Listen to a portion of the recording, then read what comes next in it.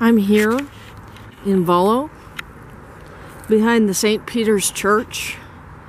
And there's a cemetery here. I'm going to turn around for a second so you can see it. It's an old cemetery behind the church. And I just stopped by to look at this Virgin Mary statue.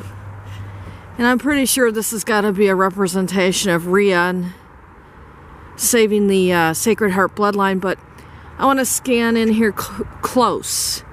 And I want to show you what she's got her foot on.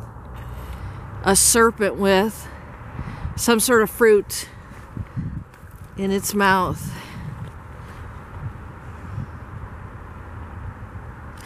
destroying that serpent bloodline with the Osirian pharaonic bloodline and the stars. Look at those stars on that statue. Okay.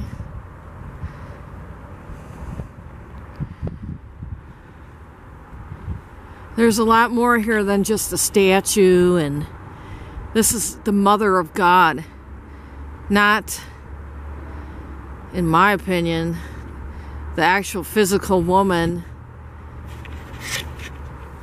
who gave birth to Jesus, but I think this has got a lot more to it than most people understand.